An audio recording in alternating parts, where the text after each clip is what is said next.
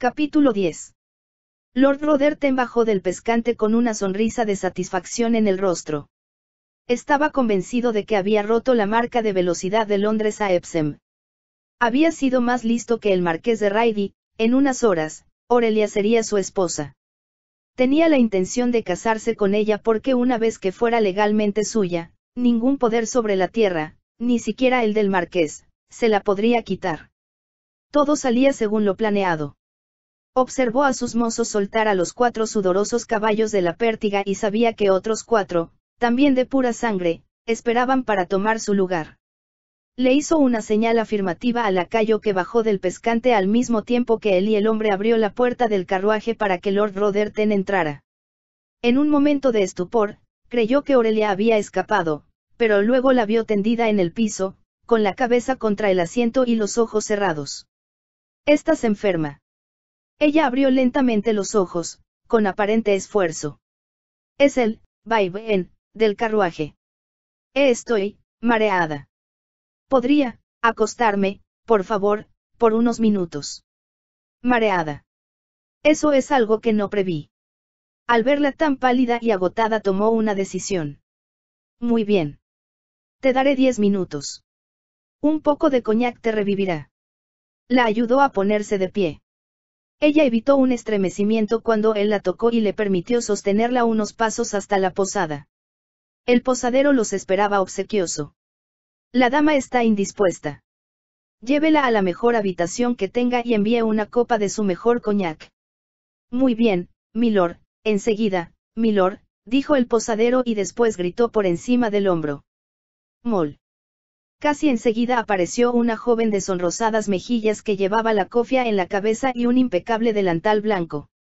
Rodeando a Aurelia con un brazo, la ayudó a subir la angosta escalera de roble y abrió la puerta que daba a una agradable habitación con ventanas al jardín. En cuanto entraron, Aurelia se liberó del brazo de Moll, se dio vuelta y cerró rápidamente la puerta con llave. Escucha, necesito tu ayuda. Le dijo a la joven. La chica la miró sorprendida. Este caballero me lleva consigo en contra de mi voluntad y quiero que encuentres a alguien que lleve un recado a los establos del marqués de Raid. ¿Conoces esos establos? No señora, pero Jim debe saber. ¿Quién es Jim? Preguntó Aurelia y al mismo tiempo se sentó cerca del tocador. Extrajo de su bolso una de las hojas de papel de escribir que la duquesa había metido en el fondo del falso paquete.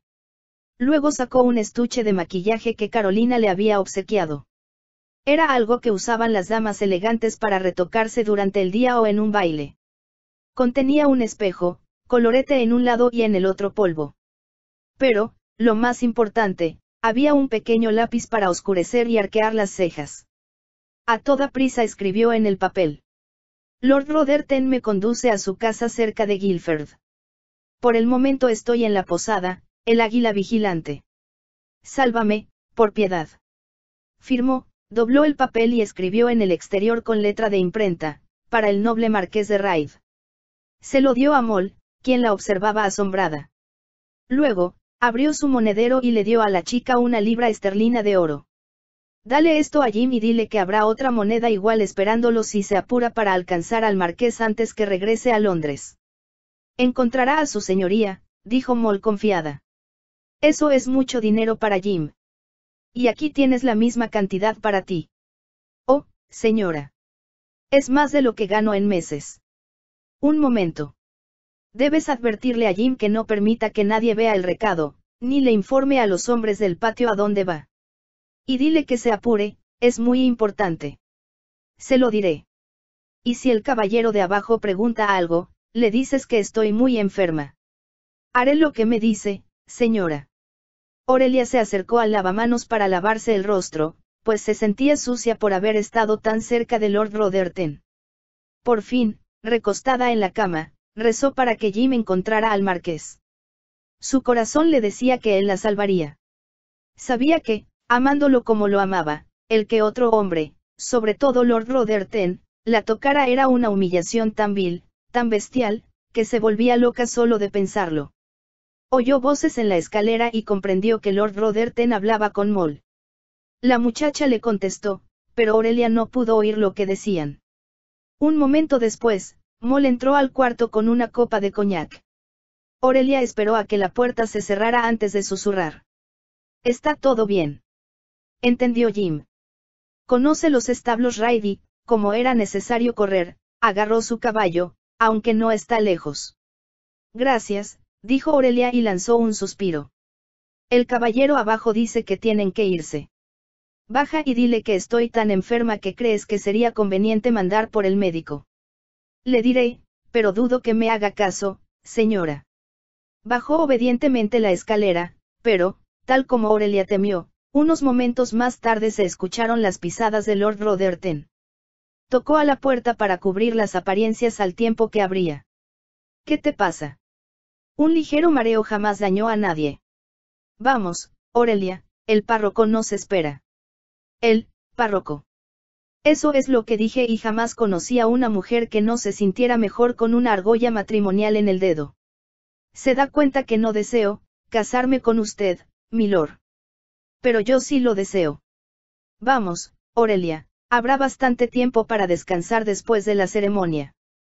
Por un momento, sus ojos recorrieron el cuerpo que yacía en la cama frente a él, deteniéndose en la dulce turgencia de los senos y en la suave curva de las caderas. Si es que, te dejo, agregó casi para sí mismo. Aurelia permanecía con los ojos cerrados. Podía sentir toda la fuerza de su maldad y la lascivia que lo poseía. ¿Vas a caminar al carruaje? preguntó él, ¿o prefieres que te lleve en mis brazos? Ella rechazó la idea instintivamente y dijo a toda prisa. Caminaré. Él se rió, como si supiera que su enfermedad era más un pretexto que una realidad. Sigues tratando de escapar, Aurelia. Es demasiado tarde. Te dije que siempre consigo lo que quiero. Aurelia se levantó de la cama y tomó su sombrero. No tengo nada que decirle, milord, excepto que jamás creí que alguien que se precia de ser un caballero, pudiera comportarse de manera tan despreciable con una mujer sola e indefensa. Se te olvida que estoy preparado a casarme contigo. Otros hombres tal vez no te ofrecerían eso. Si espera que acepte convertirme en su esposa en cualquier ceremonia o frente a cualquier clérigo, se equivoca. Dudo que digas eso dentro de unas horas. Algo en su forma de hablar y en sus ojos entrecerrados la hizo apartarse más de él, como si se tratara de un reptil venenoso. Cuando él lo advirtió, se rió. Agradecerás que haga de ti una mujer honesta, bromeó y tomándola del brazo la llevó hacia la puerta. Aurelia no pudo hacer otra cosa que subirse al carruaje. Echó una rápida ojeada a los caballos y luego, descorazonada, vio que el cochero sostenía las riendas. Como lo pensó, Lord Roderten subió al carruaje y se sentó a su lado. El lacayo se sentó en el pescante y el cochero sacó a los caballos del patio hacia el camino principal. Aurelia se sumió en un rincón del landó, aprensiva y temerosa, preguntándose desesperadamente cuánto tiempo le llevaría a Jim encontrar al marqués, quien tal vez ya había salido de Epsom. Lord Roderten, observándola con aquella mirada que la horrorizaba, Esperó a que los caballos apuraran el paso para atraerla hacia él. No se atreva a tocarme. Aurelia trató de luchar, pero comprendió su indefensión ante aquella fuerza y el hambre de sus labios. Se retorcía, pero lenta, irremediablemente, él se acercaba más. Aprisionó una mano de ella contra su cuerpo y le inmovilizó la otra con el brazo que la rodeó, mientras la mano derecha del conde quedaba libre. Le tomó la barbilla con los dedos y le hizo volver la cara hacia él. Muy valiente, pero inefectiva, le dijo sonriendo. Cuando aquellos labios se apoderaron de los suyos, sintió que un estremecimiento de horror la recorría, sintiéndose arrastrada a la más profunda oscuridad y degradación. Había algo espantoso en la cálida pasión de sus labios y luego, cuando trató inútilmente de zafarse, sintió aquellas manos hurgando bajo su abrigo, sobre la suave muselina que cubría sus senos. Trató desesperadamente de librarse, de apartar sus labios de los de él, sin conseguirlo. El horror que le producía su contacto, el modo como la dominaba y la hacía su cautiva, estuvieron a punto de hacerla desmayarse. Cuando todo se oscurecía ante su vista, los caballos se detuvieron repentinamente y se oyeron voces. Lord Roderten apartó sus labios de los de Aurelia, aflojó su brazo, lo que le dio ocasión a ella de liberarse buscando refugio en un rincón. En aquel momento se abrió la puerta del carruaje. ¿Qué diablos sucede? Preguntó furioso Lord Roderten al lacayo. Hay dos caballeros del otro lado del camino y uno de ellos desea hablar con su señoría. Que se vayan al diablo. No hablaré con nadie. En marcha. Creo que no, Roderten, dijo una voz grave y Aurelia lanzó un pequeño grito de alegría. Era el marqués, había acudido a salvarla como ella supo que haría cuando se enterara de su situación. Raid. Oyó exclamar a Lord Roderten. Sal del carruaje, deseo hablarte. Por un momento pensó que Lord Roderten rehusaría, pero lo oyó contestar. Muy bien, escucharé lo que tienes que decir, Raid. Se levantó como si intentara salir del landó pero, al hacerlo, levantó el asiento delantero. Debajo había una caja, y Aurelia recordó que a menudo era usada por los caballeros, para ocultar sus tesoros de los bandoleros. Lord Roderten metió la mano y sacó una pistola. Todo sucedió con mucha rapidez y cuando se pasó el arma a la otra mano, Aurelia comprendió sus intenciones. Lanzó un grito de terror en el momento justo en que Roderten apuntaba al marqués con la pistola. Cuidado. Cuidado. Le advirtió. El marqués se hizo a un lado cuando Roderten disparó. El tiro no dio en el blanco y, antes que Roderten pudiera disparar de nuevo, el marqués le retorció el brazo y la pistola rodó al suelo. Luego, arrastró a Lord Roderten fuera del carruaje y le asestó fuerte puñetazo en la mandíbula. Lord Roderten cayó de rodillas pero, poniéndose de pie, se lanzó contra el marqués como un toro furioso. El marqués le dio otro puñetazo y un hilo de sangre le corrió de la nariz a la boca, insensible al dolor, se incorporó de nuevo. Hábilmente, el marqués se puso en guardia y por tercera vez lo arrojó al piso. Esta vez, Lord Roderten se quedó inmóvil tendido en la tierra. Sin embargo, el marqués lo tomó del cuello y lo levantó. Cerdo, no te zafarás de esto con tanta facilidad. Le gritó golpeándolo una y otra vez hasta que le corrió la sangre por la cara y le cerró ambos ojos. Cuando por fin Lord Roderten cayó de cara al suelo, aparentemente inconsciente, el caballero que se encontraba sobre el otro caballo se desmontó y tomó al marqués del brazo. Ya basta, Darío. Quiero matar a ese canalla. Serían necesarias muchas explicaciones, dijo su amigo, y además, Roderten está acabado. Le disparó a un hombre desarmado y eso es imperdonable. Yo me encargaré de que nadie le dirija la palabra en el futuro. Si vuelvo a ponerle los ojos encima, dijo el marqués, terminaré lo que no me permites hacer en este momento. Al decir esto, el marqués sacó el pañuelo de su bolsillo y se limpió la sangre de los nudillos. Entonces se escuchó el ruido de las ruedas de un faetón negro y amarillo que venía por el camino tirado por cuatro zainos. El marqués miró el vehículo y se dirigió a la puerta del landó. Aurelia había puesto un pie en el escalón, pálida y con los enormes ojos llenos de luz. Viniste. Susurró suavemente cuando el marqués se acercó a ella. ¿Te sientes lo suficientemente bien para viajar en mi faetón?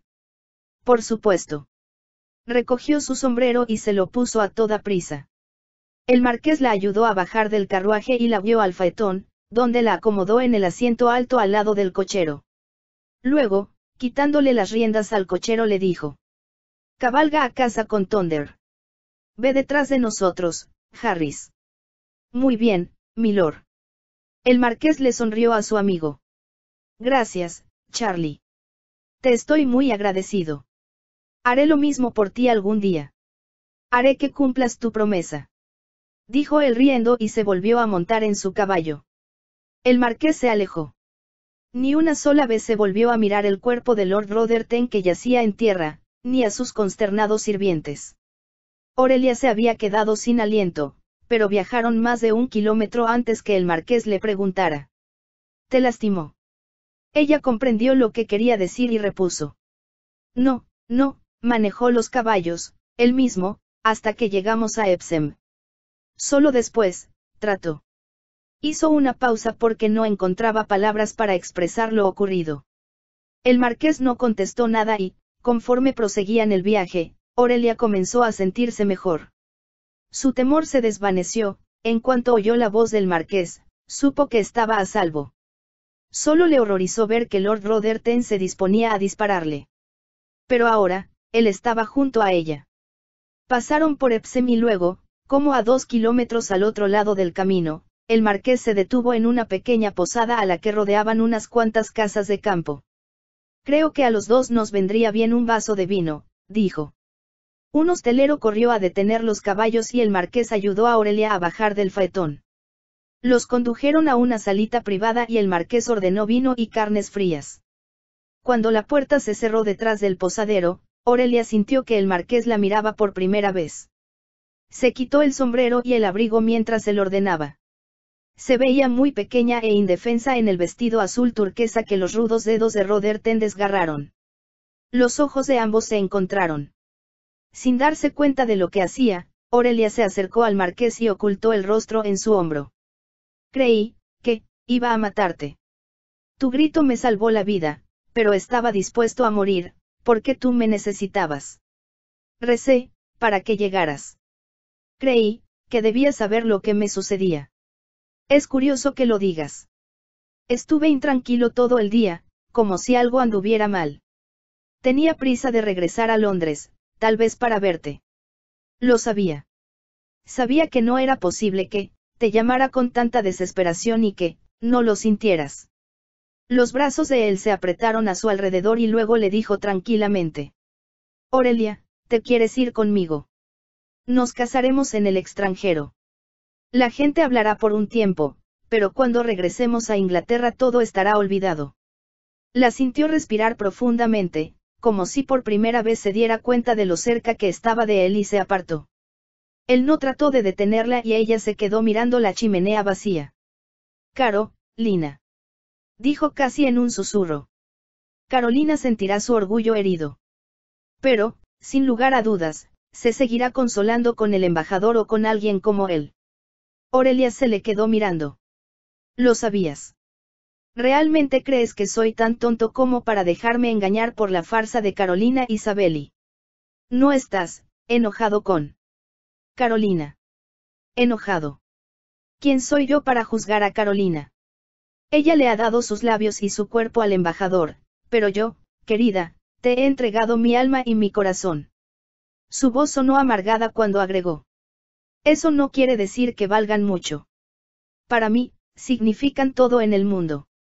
El marqués le tendió los brazos, pero en ese momento se abrió la puerta y el posadero llegó con el vino y un plato de carnes frías. Colocó todo en la mesa, abrió la botella de vino y se quedó mirando al caballero. No serviremos solos.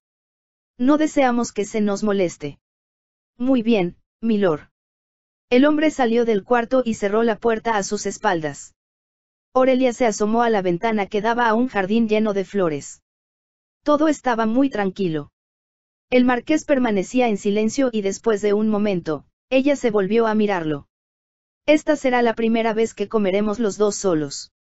No podríamos pretender, aunque fuera por poco tiempo, que somos dos personas comunes y corrientes que se conocieron y se tienen, cariño. Él no contestó y ella siguió diciendo. Ignoremos los horrores que quedaron a nuestras espaldas, y la infelicidad que nos espera. Solo existe el hoy, y nosotros. El marqués se rindió a la súplica de su voz. Solo hoy, este momento, y dos personas, muy enamoradas, Aurelia. Le agarró una mano con ademán de besársela, pero en su lugar mirándola con detenimiento la sostuvo entre las suyas. Una mano tan pequeña y encierra, sin embargo, todo lo que yo anhelo en la vida. Ella se apartó de él y se acercó a la mesa. Se sentaron y luego, como si él aceptara el juego que ella propuso, comenzó a hablar de sus caballos, de las carreras que esperaba ganar en Ascat, de los proyectos acerca de sus establos para el próximo año. Aurelia le contó que los editores le habían pedido otro libro y pensaba en los temas que le gustaría escribir.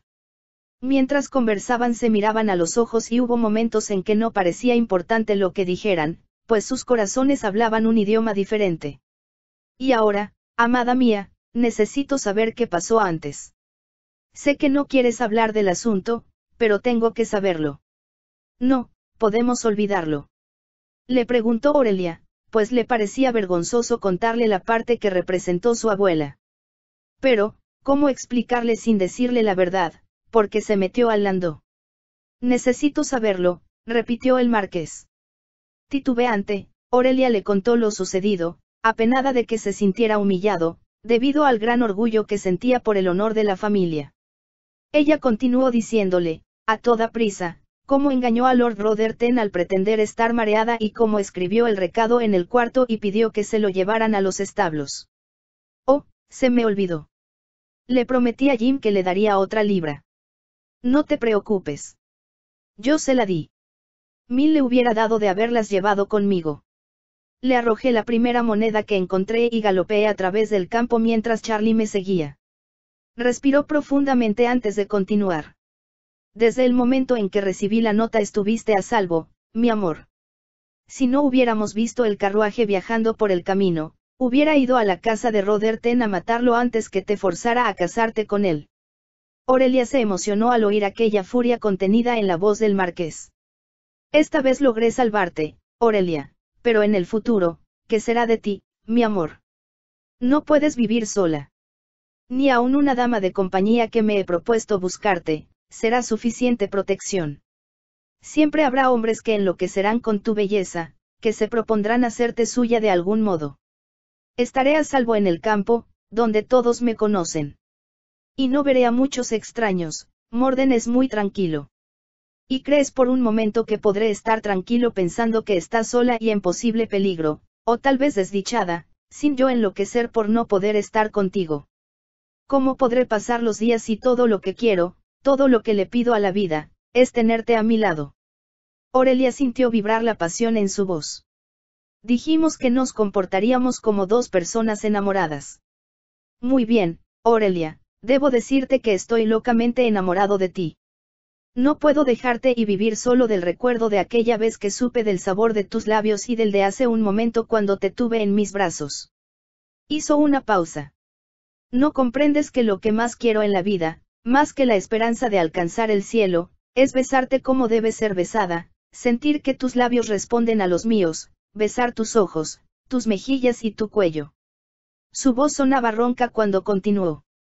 Y luego, cuando sienta, tal vez, que te emociona un poco mi contacto, me gustaría besarte, desde la punta de tu preciosa cabeza hasta llegar a tus diminutos pies. Eso es lo que quiero, Aurelia, y creo que en lo más profundo de tu corazón, tú también lo deseas. Su voz se apagó y Aurelia lo miró. Observó el fuego de sus ojos y, temblorosa, se emocionó ante aquel milagro. Te deseo desesperadamente, Aurelia. No puedo dejarte. Escapémonos. Aurelia se oprimía el pecho como para acallar el tumulto de su corazón y él vio temblar sus labios, como si ya sintieran la pasión de sus besos y, en lo hondo de sus ojos, una repentina llamita que reflejaba el fuego de los suyos. Se quedaron mirándose y Aurelia, muy cerca de él, sintió que le pertenecía y que se rendía totalmente a sus exigencias. ¿Te irás conmigo? Le preguntó el marqués y su voz era tan trémula que Aurelia casi no la reconoció. Por favor, por favor, no me pidas, que te conteste. Ya no puedo pensar. Solo sé cuán profunda, cuán inmensamente te amo. No soy fuerte y buena en lo que a ti se refiere, soy débil, y ya no sé qué es bueno o malo. Te amo y nada más parece importar en el mundo. Hizo una pausa y cuando continuó había lágrimas en sus ojos. No puedo contestarte porque, no me siento capaz, pero quiero estar contigo, hacerte feliz. Por lo tanto, tú debes decidir, por ambos. Tienes que decidirlo, mejor para ti y para mí. Su voz se quebró y luego, casi patéticamente, agregó. No puedo luchar, contra mi corazón, no puedo hacerlo. Me pides a mí, adorada, que te proteja de ti misma. No lo sé, pero haré lo que tú me digas. Durante largo rato él se quedó mirándola. Luego, repentinamente, se puso de pie, con tanta rudeza que su silla cayó hacia atrás y golpeó el piso. Vamos.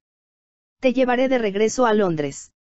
Cuando estaban a punto de llegar, Aurelia lo miró y le dijo. Te amo, te amaré toda mi vida, pero también te, respeto y te honro. Él no contestó. Su rostro estaba tan desolado como si se enfrentara al verdugo. Después, detuvo los caballos fuera de la casa Raid y Aurelia bajó y entró al vestíbulo. Willend, tengo dolor de cabeza, le dijo ella al mayordomo. Por favor, avísele a la duquesa y a Lady Carolina que me he retirado y que no deseo que se me moleste bajo ninguna circunstancia. Muy bien, señorita. Una vez sola, se sintió perdida por un momento, antes de quitarse el abrigo y el sombrero y ponerlos sobre la silla. Luego, algo pareció estallar en su interior y corrió a la cama, ocultando el rostro entre las almohadas. Comenzó a llorar desesperadamente, sin esperanza.